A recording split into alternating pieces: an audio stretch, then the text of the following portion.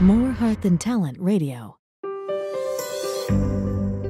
More Heart Than Talent Radio is brought to you today by my Jeffery Combs Inner Circle Coaching Program.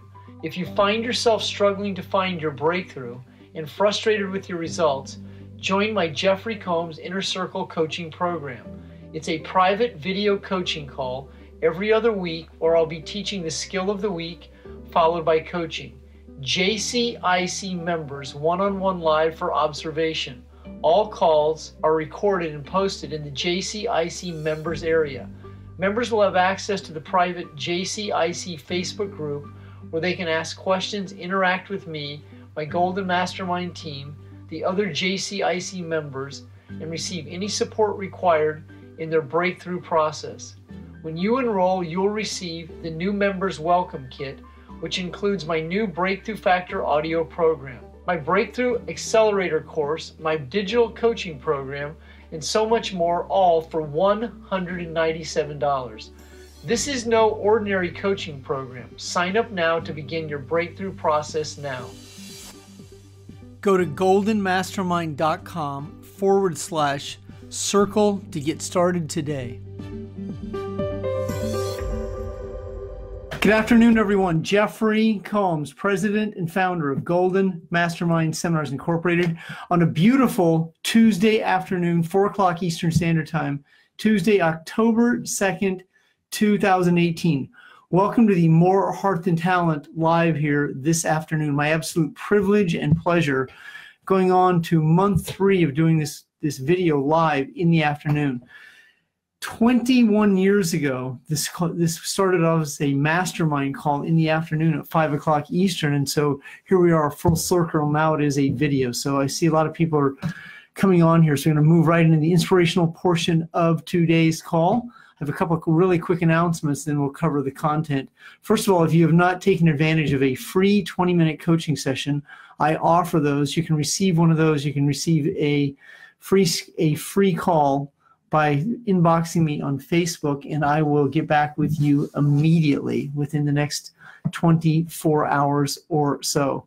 Just send me your number and what you seek to achieve from a free 20 minute call with me. This this next Saturday, this coming Saturday, I'm, I'm, I'm speaking at a private event. The following Saturday, I will be in Spartanburg, South Carolina with Bridget Bartley. Then on October 20th, I will be in Philadelphia, Pennsylvania. So those are the two spots, two places where you can see me speak live in the next couple of weeks. And then in November, I'll be right back out in Orange County, California, and I will also be in Tarrytown, New York. So those are the next four speaking places that you can see a live one day, more heart than talent event. Also at the lives, we're doing a Facebook Live. So there's some good content for you to be able to capture there. In the inspirational portion of today's video, I'm going to be covering the topic of healing shame and guilt and then moving into a state of awareness called forgiveness. Forgiveness is a very, very underdeveloped, misunderstood word that very few authors write about. As a matter of fact, there are very few books on the topic. Colin Tipping wrote a great book in the late 1990s, early 2000s called Radical Forgiveness. There's also a workbook with that. But other than that, there's not a lot of content on that. Forgiveness is another level of being able to let go. As you separate feelings from events, move into a state of consciousness, meaning that you live in a no state, you live in a now state you're living in an aware state. You understand. Then you'll stop trying to make sense of situations. Many people live in it. It doesn't make sense. I'm trying to make sense of it. Does that make sense? Well, making sense is about creating pennies because that's what it means, making sense. And as a business owner, you're not into making sense. You're there to create profit. Sense comes from your analytical egoic mind that constantly wants to know, how do I? As you let go of the how do I state, move into I am, I am committed I decide, as you move into that state, now you're anchored in a place called consciousness. Consciousness is allows you to access the web of content and the web of knowledge that elevates you above anxiety, fear, and doubt, puts you in a much more aware state where you know. And when you know that you know, you won't doubt what you know, and you won't live in anxiety, fear, or doubt. You won't worry about worrying. If worry is a way of life, then you will continue to worry to fulfill a neurochemical craving you're emotionally addicted to that is overwhelm. Now, as you start to understand cause and effect, why you do what you do, there becomes an advantage because you now have the ability to separate a feeling from an event. That is how you create recovery. Recovery is a constant state of education, of learning, of letting go, of being able to better understanding and awareness of why you do what you do, but most importantly, predictability. As you understand how predictable human beings are, then you will be able to release some of the emotions that keep you doing the same thing over and over. Then you'll stop trying to make sense of things. And when you understand predictability, that isn't sense, that's that's know that's knowing. And the more you know you let go of sense. So on the topic for today's call i'm covering the, the two terms guilt and shame. Now the, this week's topic i want to assist you with guilt is why why i did was bad. So guilt is is versed in situations that you hold on to that you made mistakes transgressions. Shame and guilt are similar energies but distinctly different Guilt is more about what people have done to guilt you than you feel guilty. And I feel guilty. I feel selfish. I would feel selfish if I succeeded. I would feel selfish if I made $100,000 or more. This is how guilt robs you of the ability to be and stay successful in free enterprise and other endeavors. Guilt is a emotion, a very heavy emotion that vibrates and transmutes out at a very low level of emotional vibrational energy. Guilt and shame are right above apathy and grief. Those are the four lowest energies that you will transmute a feeling. Shame is when you have done something bad and you hold on to something bad and then you hold on to this story about how you were bad and what you did and then you live in shame and then you live in a very low energy like this not wanting to be noticed, not wanting to be seen, not sure if you could put yourself out there. As you begin to have a better understanding of why you do what you do, then you're not the mind body connection to the events that create the emotions that create anxiety. Now, if guilt and shame are an anxiety and they're very low levels of energy, well, it would make sense, wouldn't it? Or it would behoove you or you would begin to figure it out. Well, that's unfortunately not going to get you to the land of promise. As you begin to let go, letting go is not about making sense. Letting go is separating feelings from events. Letting go does not respond to sense. Letting go responds to an emotion. As you become emotional about letting go, as emotional as you were about holding on, holding on keeps you in control. Letting go allows you to access consciousness. Letting go separates you from anxiety, fear, and doubt and elevates you into awareness now you know. When you know, it's a different level of intelligence and emotional intelligence. That level of intelligence is called trust. That level of trust is means you're able to trust self. That self is also esteem, which is regard for. So it becomes reciprocal. It's shapeless, formless. It's an energy that allows you to go anywhere and know. So if the plane is canceled, you know that you'll find an equal or better opportunity because you know and have know-how of how to create the outcome before it happens. So you can be and stay in a relaxed body. But if you're in guilt and shame, you're transmuting energy at a very low rate of emotion.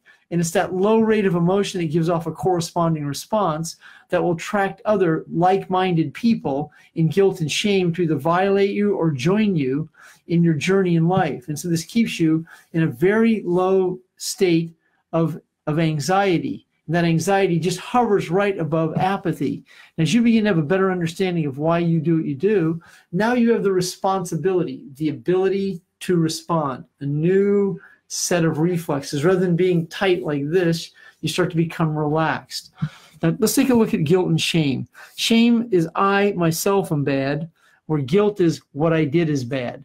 I myself means that I, I created a transgression, and that that's a different situation than what I did. So it's self and what it's outside of self that creates the separation between guilt and shame. The mind body connection to guilt and shame is it's very common to grow up in a family where guilt is used to control the family. You're guilted into feeling bad about money. You're guilted into feeling bad about situations. And you're taught certain situations that by you're 18, you spent 20,000 20, meals with the wrong financial planners. Now, now as you if you as you start to develop a better understanding of letting go. Now, if you grow up in a family where guilt is used to control you, then it's going to be your responsibility to understand by stepping into your power.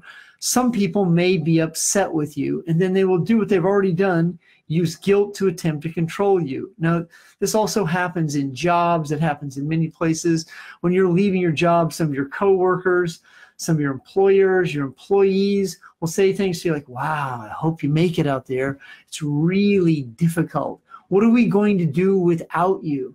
The place isn't going to be the same. I can't believe you're moving across the country. We'll never get to see the grandkids. So unfortunately, this is how a lot of people communicate their communication with you to affect your outcome. These are called dream stealers. These are called emotional vampires, energy suckers, a whole series of names that mean typically they derive their pleasure and their energy by robbing you of yours. As you have a better understanding of this, and you start to let go of your guilt. Now, it's very important you understand this that in this L E A V I N G, leaving behind. Now, in leaving behind, you, you're not going to leave people behind. Here's what's going to happen they are going to stay where they are. They're going to stay where they are. You're not going to leave them behind. They're going to definitely stay where they are. They're going to stay where they are because they're going to be who they are. And if they're going to be who they are, then they're going to continue to perpetuate the same communication style, the same set of feelings to control you by using guilt to control you. As you understand that you're no longer in control of being out of control, and as you begin to let go of the illusion of control, then you're not going to worry about other people's feelings. And this is what many people do. They're guilty. They feel bad about hurting someone else, while the person they feel bad about hurting is really hurting them. And this is the guilt that's reciprocal that creates the guilt resentment syndrome. And if you're in this syndrome, there's a high probability that a lot of your actions or inactions are based on being, being and feeling guilty. As I said earlier, guilt is a very, very heavy emotion that absolutely sucks the life out of you.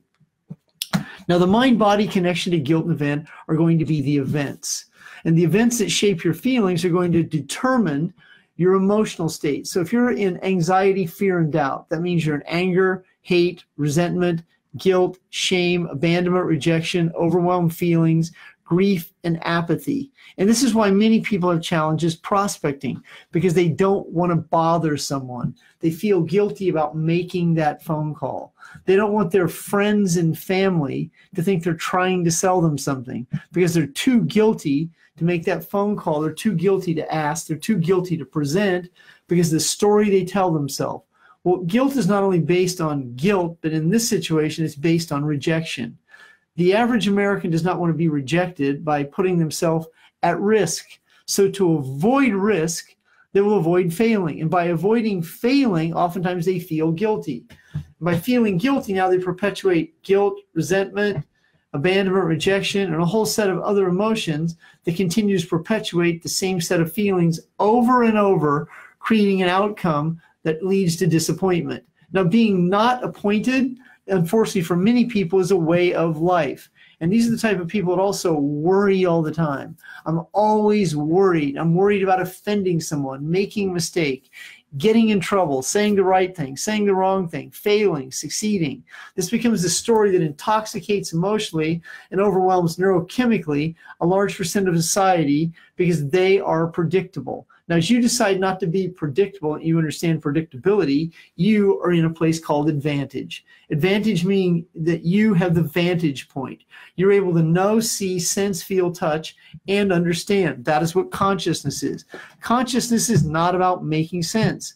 Consciousness is about a state of being called love. And as you start to love self, have a, have a regard for others, start to feel exceptional about your opportunity in free enterprise. Start to feel the love, be the love. Now you're transmuting it. This is called charisma. And that kind of charisma walks into a room and it, and it ennobles, E N O B L E, meaning it lifts people up. People feel you. You're iconic. You have charisma. You have energy. You're flowing. You're in a state of being called love. Now, in that kind of love becomes very infectious because other people want to be who you are. They want to touch you. They want to feel you. They want to join your team, join your culture because they feel you have magic. And in reality, what you have is esteem with consciousness in a very relaxed body, in a state of being where you're not anxious, worried, or in doubt. So when, when you live in this state, people are going to go, how did you do it? How did you do it? What was the magic? What was that one magical, mythical breakthrough that you had? And I will tell you this, this situation there was no magic. The magic was in me. And the, the, reality of the situation is, is that one day I reached a place called the pain is great enough. It is not the way you want to break through, but it's how I broke through in 1996 because the threshold of pain was great enough. And I was no longer willing to continue to be the mind body connection to the events that created my alcoholism and drug abuse. Now, as I began to, to move into a place called commitment and move into a place called decision, now I'm no longer guilty about the transgressions from the past because I start to practice forgiveness. In the 12 step programs, this is taught of radical forgiveness, rigorous honesty. Terms like this are used to be able to provoke you to move out of a state called denial. And as you uplift yourself out of denial, you begin to let go of guilt. Many people stay in familiar family situations. They work for their parents. They let their parents move in with them, their grandparents, any multitude of situations. They take, they over obligate, do too much for others to fulfill their feelings of low self esteem. Esteem means they have a very low regard for self and a higher regard for others because they can over obligate themselves, doing more for others, living in codependency. And then that way they can deflect how low their esteem is. Oftentimes, this is perpetuated by guilt if you want to control others and you want to take care of others and you want to let them know about all these great situations going on and you want to get involved in their life and over obligate yourself and overwhelm yourself, well, that's your call, but it's versed in a place called codependence. That means enabling, over obligating, doing too much, creating expectations for others that they can't fulfill so that they can fulfill your disappointment. So you want to learn from the past of this as you begin to learn from the past and be and stay present, as you have a better understanding, can see the past in a place called metacognition, means you can see it, you can sense it. You stop saying, My memory is a blur, I don't understand. My, I, my whole childhood is a blur, I don't remember how this happened to me. As you begin to let go of the cause that creates the effect of why you do what you do, then you are no longer the mind body connection. What does that mean? It means that neurochemically and emotionally, you're not stuck in the past perpetuating the same set of feelings. You're able to elevate your energy above guilt. You're able to look at the situation for what it is.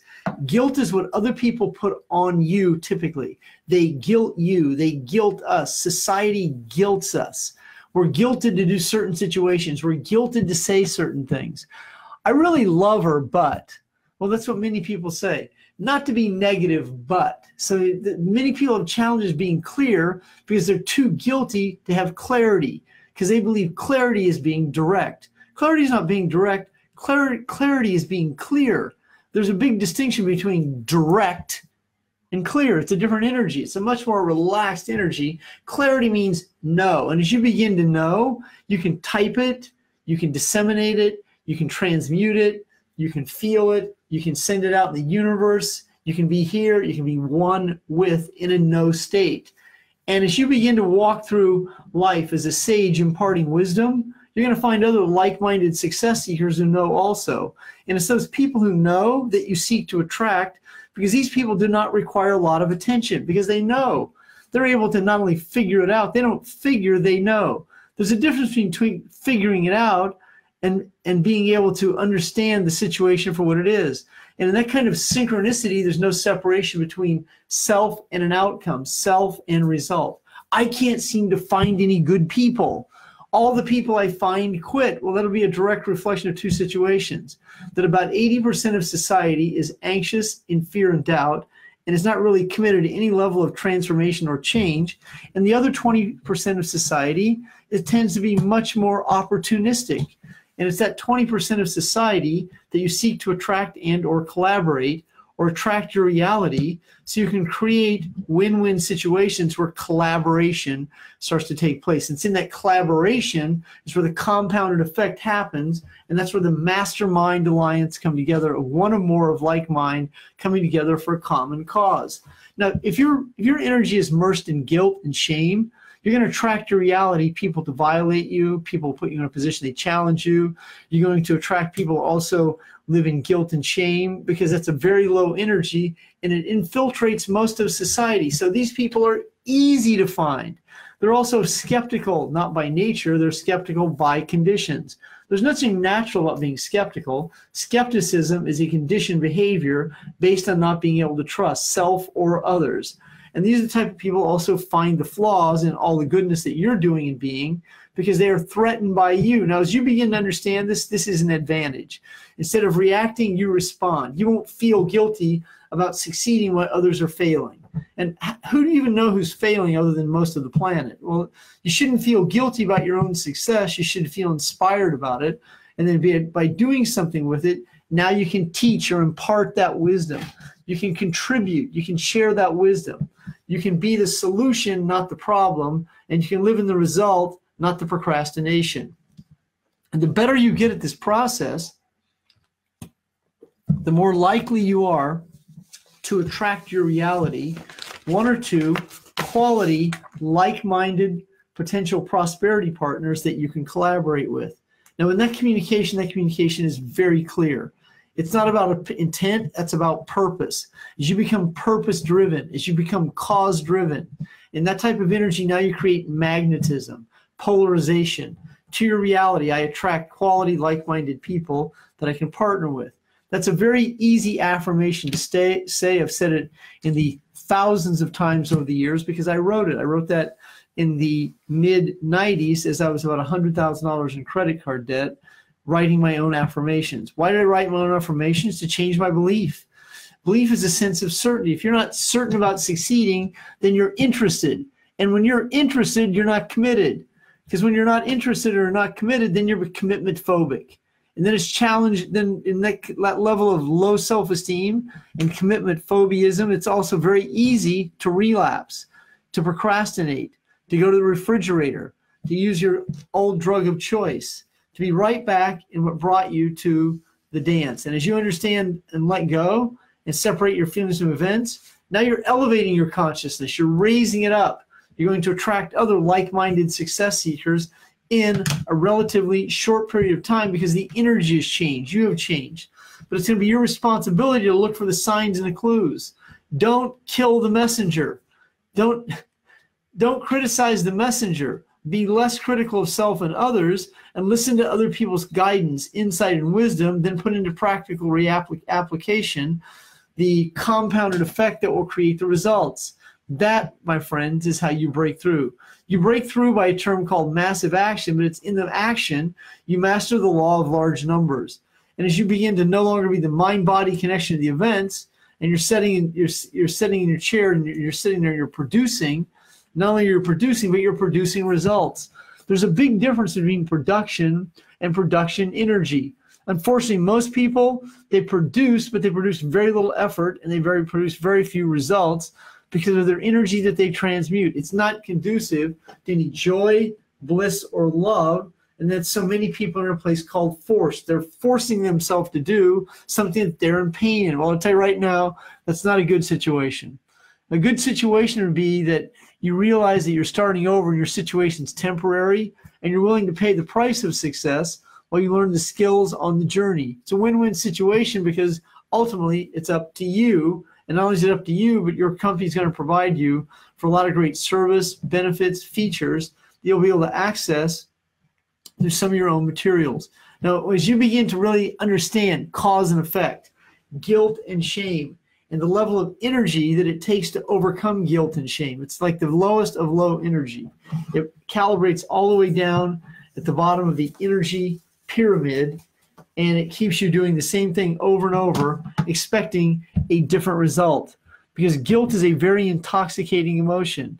It's why you want to be very clear on who you are and what you do, and how you use how you how you step into the power and step in and let go of pressure, and control, which are illusions because there is no pressure and control. The only pressure you feel is the anxiety you manifest and create because of your own worry, dread, and, and other challenges that lead to being in an overwhelmed state. As you let go and really move into that elevated state, now you're going to start to elevate above grief, apathy, but specifically guilt and shame.